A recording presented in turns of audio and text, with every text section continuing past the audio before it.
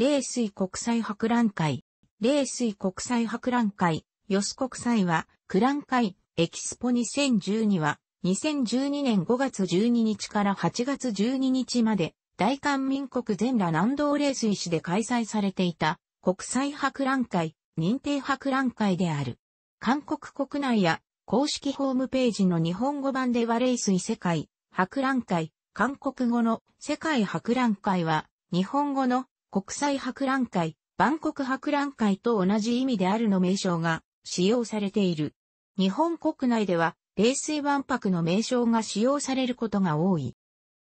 1996年9月4日に、全裸南道は2010年開催の万博、国際博覧会条約における登録博覧会を誘致することを韓国政府に建議した。これが冷水万博誘致のルーツである。政府は1997年5月31日に万博の全裸南道誘致を公式発表した。1999年6月14日の閣議で冷水万博誘致を国家計画にした後、2001年5月2日に博覧会国際事務局、ビエに開催申請書を提出した。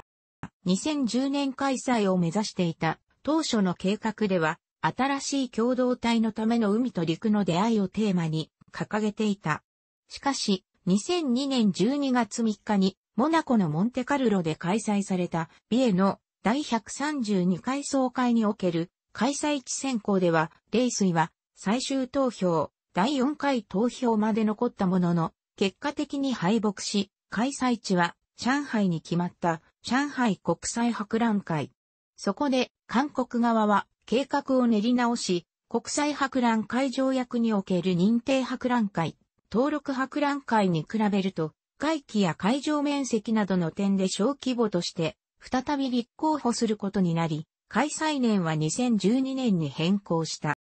2004年12月14日に、冷水万博の2012年誘致を目指すことが国家計画に確定された。2007年11月26日にフランスのパリで開催された第142回ビエ、総会での開催地選考で、ポーランドのブロツワフ、モロッコのタンジールを破って開催地に決定した。韓国での万博開催は、1993年の大田国際博覧会以来、二度目である。韓国の南海岸、特に冷水市を含む全裸南道沿岸は、リアス式海岸や大小の島々、奇岩などが数多く存在しており、多島海海上国立公園や関連、春旅海上国立公園に指定されている地域も、あなど風光明媚な景色が数多い。これまで韓国国外ではあまり知られていなかった韓国南西部の潜在力、南海岸一帯の海岸線や海上国立公園の美しさを世界にアピールし、同地域を世界レベルの海洋観光リゾート地として発展させることが、冷水万博を開催する目的だった。また、万博開催をきっかけとして、鉄道や道路など交通網の整備が、冷水を中心とした全裸南道周辺地域で大規模に実施された。冷水万博が開催された翌年の2013年には、冷水市に隣接する順天市で順天湾国際庭園博覧会が開催された。同じく、全裸南道で博覧会を2年連続で開催することで、観光客や経済効果の増大を狙うのが目的だった。メインテーマは、生きている海と息づく、沿岸、資源の多様性と持続可能な活動である。海洋汚染の深刻化、海洋生態系の破壊、海面の上昇など、海洋に関する問題は、ある特定の国家のものではない。冷水万博では、海と沿岸に関する人類共通の課題への対策を模索するという考えのもと、人類の生存に関わる海の望ましい未来像を探るという理念を掲げていた。サブテーマは、沿岸の開発と保全、新しい資源技術、創造的な海洋活動の3つである。国際間1階 D ゾーン、太平洋ゾーンの約1000平方メートルの展示スペースに日本館が存在していた。日本館出展の実務は過去に日本国外で開催された万博に出展された日本館と同様に独立行政法人日本貿易振興機構、ジェトロが担当した。日本政府の担当省庁は、幹事省が経済産業省、副幹事省が文部科学省、農林水産省、国土交通省、環境省だった。日本館の展示計画は、当初は、クジラが飛び出したり、深海探査艇が現れたりする 3D 映像を上映することが検討されていたが、万博開催前年の2011年に東日本大震災が発生したため、同震災をテーマにした展示に変更した。日本館入り口付近のファザードにあった大型ディスプレイでは、東日本大震災で韓国をはじめとする世界各国から寄せられた支援に対する感謝を被災地の人々によるメッセージ映像によって表現ていた。館内のゾーン1、魚の木の森では日本人が大切にしてきた森、里、海のつながりや日本沿岸の豊かさを表現する映像が上映された。ゾーン2、海の絵本シアターでは、東日本大震災における津波被害と復興を題材に被災者の少年、海を主人公としたファンタジー風のアニメーションが上映された。ゾーン3、知恵と技の里では森と海を守る人々の活動を映像で紹介するコーナーや、独立行政法人海洋研究開発機構が保有する有人潜水調査船、深海6500や掘削船、地球を介するコーナー、未来の環境配慮型輸送船のモデル、スーパーエコシップ2030を模型で紹介するコーナーなどがあった。万博閉幕直前の8月11日には、博覧会国際事務局がパビリオンの展示内容を評価する優秀展示館賞の授賞式があり、日本館は同賞を受賞した。この優秀展示館賞は出展面積の大きさとテーマで8つの部門に分けられており、各部門ごとに金、銀、銅の3つの賞が授与された。日本館は出展面積で最大規模の部門だった。6月2日にはジャパンデーが開催された。万博会場内で繰り広げられたオールジャパンパレード、オールジャパンステージでは日本各地の伝統的な複数の祭りが紹介された。文化公演、ジャパンデースペシャルコンサートでは歌手の倉木舞や韓国の俳優、歌手であるキム・ジョンフンらが出演した。独立行政法人公開訓練所が保有する公開練習用の小舟、海王丸もジャパンデーに合わせて5月30日から6月3日までの間に冷水へ寄港した。なお、同万博における韓国の展示物に竹島問題と日本海故障問題に関して韓国側の主張を宣言する展示物があった。このため、日本政府は抗議を行ったが、韓国が無視を続けため、日本政府はジャパンデーへの日本政府幹部職員の派遣を中止した。6月17、18日には、東日本大震災復興イベントとして、日本元気祭が開催された。冷水市内の鎮南文芸会館で17日に開催されたシンポジウムでは、日本の神奈川県出身、1997から2002年に活動していた韓国の女性アイドルグループ SES の元メンバーで、現在は歌手、ミュージカル俳優であるユスヨン、SES 時代の芸名は、週も出演した。17、18日に市民会館、鎮南文芸会館と隣接で開催された展示会では被災地である東北3県、岩手県、宮城県、福島県の伝統工芸品や食品などを紹介した。万博会場では K-POP の人気歌手によるコンサートが多数開催された。5月11日の開幕式では、同万博のテーマソング、海が記憶する物語を歌ったイユや、男性グループのビッグバン、女性グループの 2NE1 が出演した。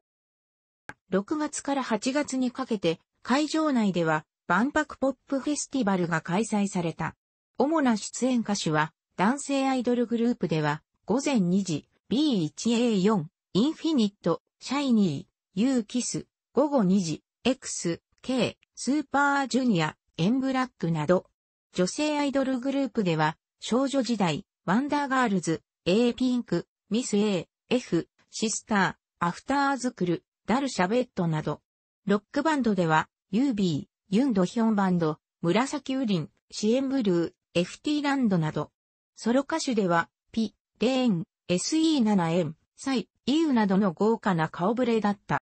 また、コンサートではないが、国連間の広報大使には、少女時代のメンバーであるソヒョンが起用された。ソヒョン本人は、6月20日に国連館を訪問し、入場者へのサイン会や撮影会が開催された。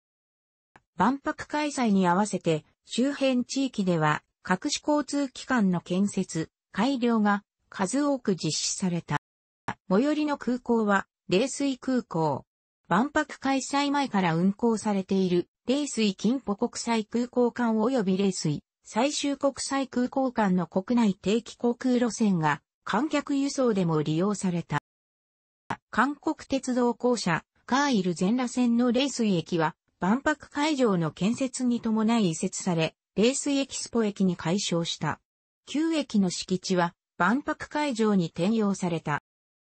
全羅線は、万博開催に合わせて、複線電化や曲線区間を緩和する、線路付け替えなどの大規模な改良工事が実施され、高速列車、KTX が全羅線にも直通運転されるようになった。2011年10月5日に改良工事が完成し、KTX の直通が開始された。2012年5月1日には、曲線改良工事を含めた高速化事業が完成し、全羅線内の KTX の最高速度が時速 150km から時速 230km に引き上げられた。ソウル市内冷水管の所要時間は、改良工事が実施される前は、ディーゼル機関車牽引のセマウル号で5時間台だったが、KTX の運行開始で3時間台に短縮された。ソウル市内発着の全羅線直通列車は原則として達山駅発着だが、万博期間中にはソウル駅発着の KTX も運行されていた。複数の道路が新設された。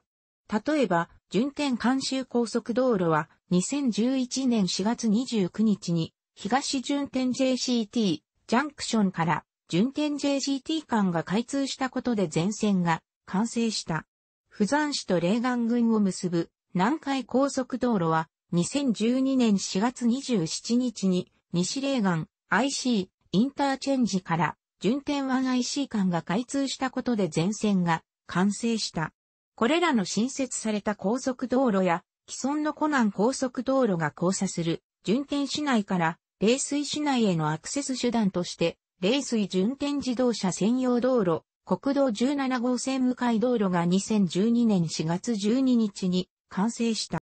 また大型架橋では、冷水市と紅葉市を結ぶ李春新大橋が2012年5月10日に暫定供与を開始した正式開通は翌2013年。他にも、冷水市公共軍艦を11の連陸、津良島橋で結ぶ国道77号線、西南海岸州道路などが建設された。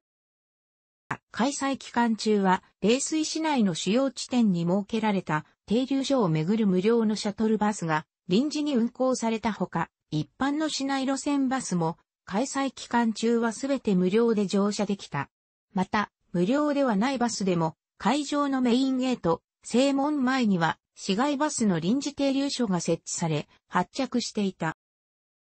万博会場はもともと、冷水進行として利用されていた敷地に建設されたが、船舶による海上アクセスのために、8万トン級の大型クルーズ船が、接岸可能なクルーズ埠頭が新設された。船舶で海上へ出入りする入場客の乗船、出入国手続きをするために、第2ゲートに直結する客船ターミナルも新設された。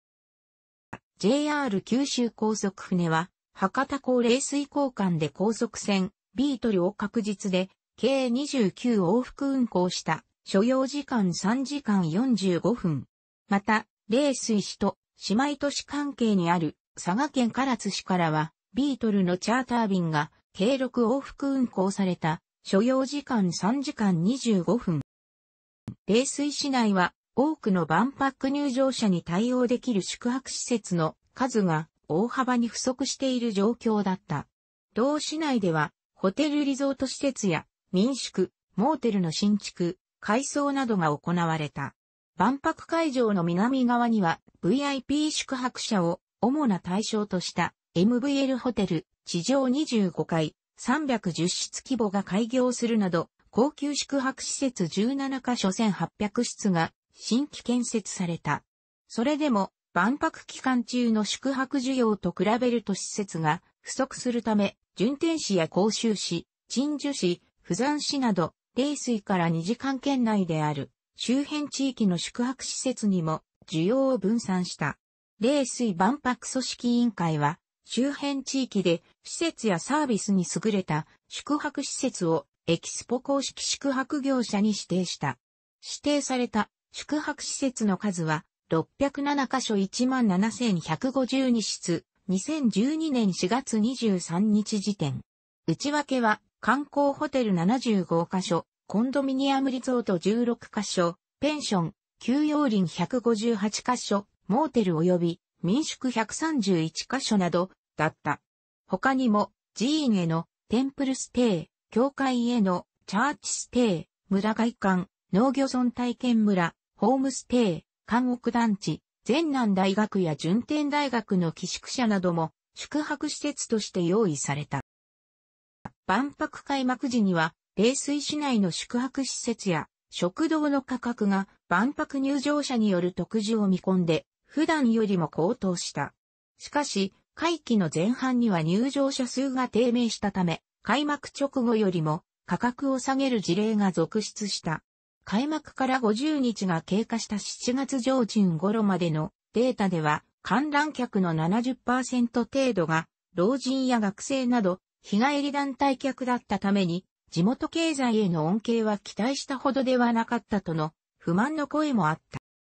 た。当初は万博会場に隣接する埠頭に旅客船を停泊させた会場ホテルを運営する計画もあった。ギリシア船籍のクルーズゲーメラルド号を使用する予定だったが、同船は1959年建造で老朽化しており、船の喫水、水面から船底までの高さが7.1メートルと、不当の水深6.7メートルよりも高いために入港が難しいことが判明した。そこでパナマ船籍のオーシャンエメラルド号を使用する予定に変更したが、船舶安全認証書がなかったために韓国へ来航することができなかった。結果的に船舶の来航は数回にわたり延期となり、万博開催中の2012年7月には会場ホテル計画そのものが中止になった。万博閉幕日の8月12日には会場内のエキスポホールで冷水万博組織委員会とビエが主催する冷水宣言フォーラムが開催され、ロセルタレスビエ事務局長や、半気分、国連事務総長、金博士職、国務総理らも出席した。このフォーラムでは、冷水宣言が採択された。万博組織委員会は、国連食糧農業機関、FAO や国連環境計画、UNEP など、国際機関専門家が加わった委員会を設置し、2010年から会議を重ねて、冷水宣言の内容を議論していた。この宣言文の内容は、計10項目で構成されている。序文では、冷水万博が掲げたテーマの目的を尊重し、国連の気候変動枠組み条約や生物多様性条約など、海洋と生態系保護に関する協定の遵守、海洋問題の認識、解決に向けた国際的な協力などの点が強調された。本文では、海洋や海底をはじめ、地域海、沿岸、島と関連した課題を先行して取り扱うこと、海洋で発生する海賊や拉致などの違法行為の根絶向けた努力、海洋資源の管理、津波などの自然災害に速やかに対応できる海洋観測システムの増強などの点を世界各国に要請した。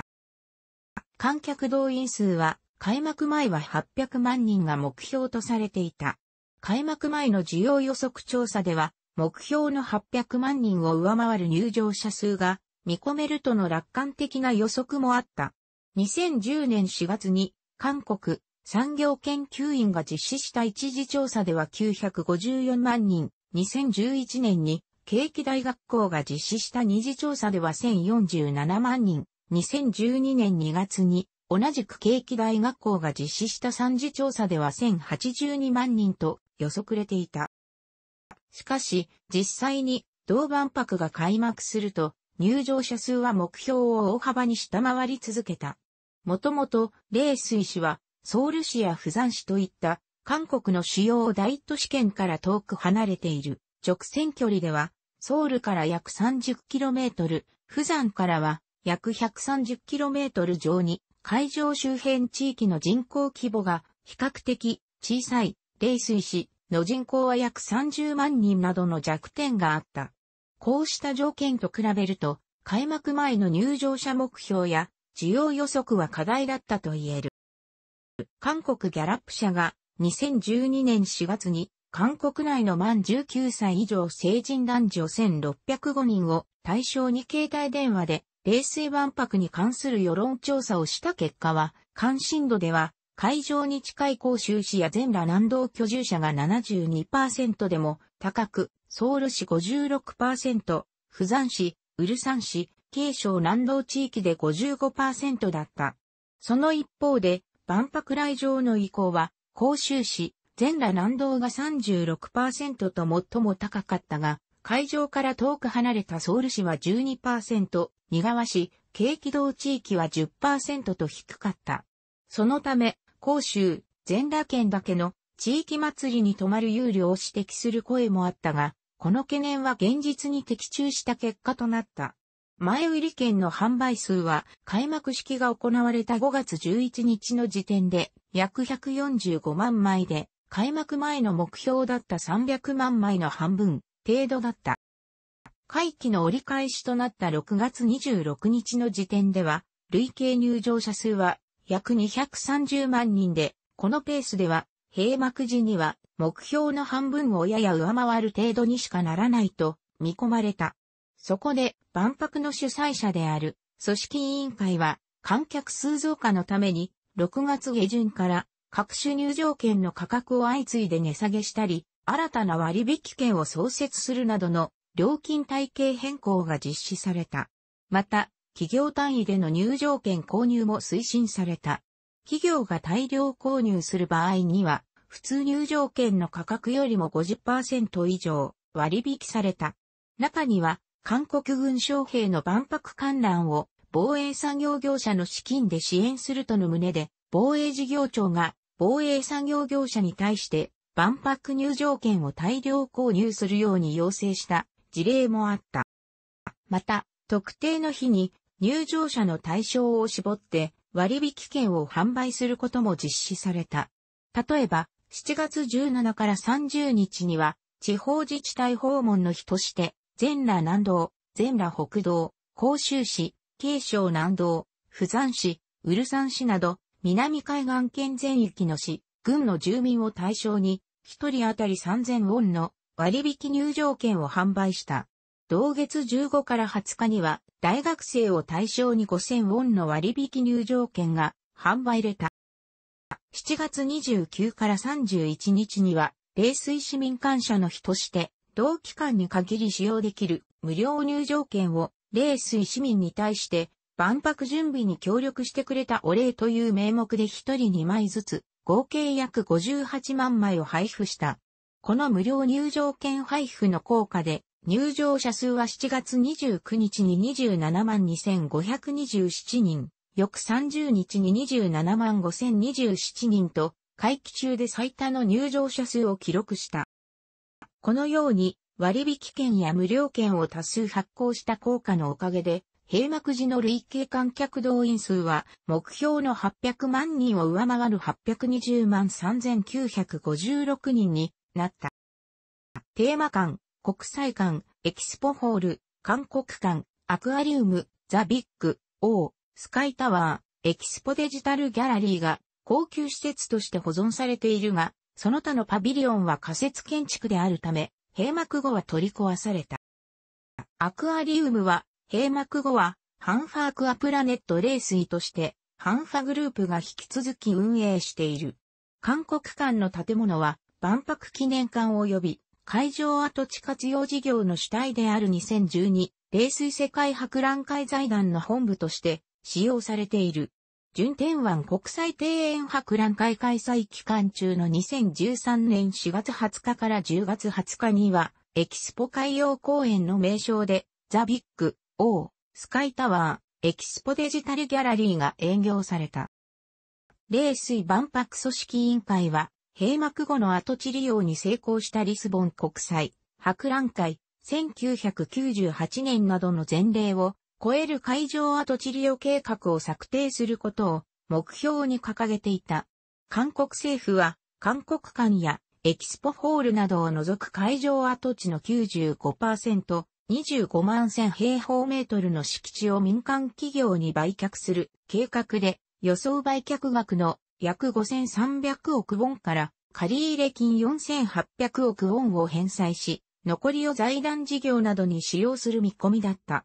しかし、2012年11月末までの公募期間中に企業は入札せず、一時売却は失敗した。冷水商工会議所のチョンビョン市区調査部長、当時は政府の計画通りなら敷地と建物だけで5000億ウォン、当時の為替レートで約430億円以上かかり、追加開発に莫大な費用がさらに必要となるとし、今の不景気にどの企業が手を出すのかと懐疑的なコメントをしていた。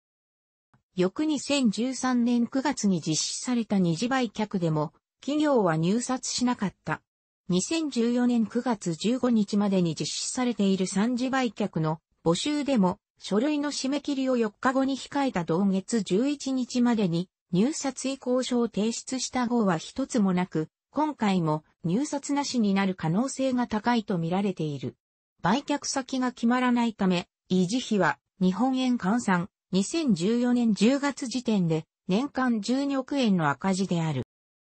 万博閉幕から2年が経過しても跡地の売却先が決定していないため、政府では事後活用計画変更を模索しているが、これは大規模アウトレット店誘致といった高収益が容易に見込める施策に焦点が当てられているため、地元の中小商店を中心に反発が激しくなっている。このため地元では、青少年海洋教育院や複合海洋センターなど、海洋関連の政府施設誘致を中心とした活用計画を要求している。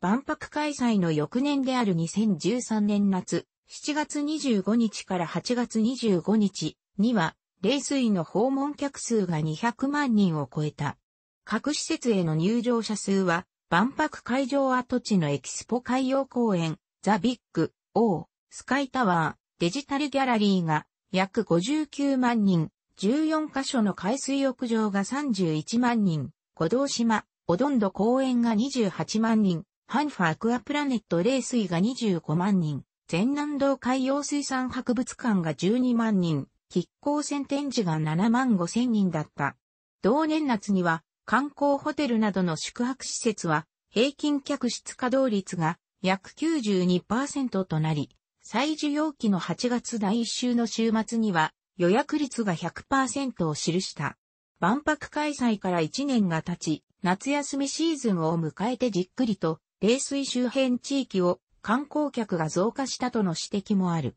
また、万博開催により、冷水の知名度が上昇し、交通アクセスが改善され、質の高い宿泊施設が増えたことも観光客が増加した理由に挙げられている。2013年9月からは韓国鉄道公社カイルが不山駅、冷水駅スポ駅間で南道海洋観光列車 S トレインを1日1往復運行している。後に運行区間変更。冷水市内では富山公園、四山公園間を結ぶ冷水海上ケーブルカー、日本のロープウェイに、総統が2014年12月2日から運行を開始するなど、持続的な観光客集めのための施策が推進されていい。しかし、冷水市の人口は、同年8月末時点で29万1451人となり、前年同期の29万2665人に比べると1214人減少した。万博開催が冷水市の定住人口の増加にはつながっていない現状も浮き彫りになっている。2014年10月18日には世界各地の湾における観光振興や環境保全に取り組んでいるフランスのバンノ市に本部を置く非政府組織 NGO 世界で最も美しいワンクラブの総会が冷水万博会場跡地の万博記念館旧韓国館で開催された。この総会では日本の富山湾が同クラブに加盟することが決まった。楽しくご覧になりましたら購読と良いです。クリックしてください。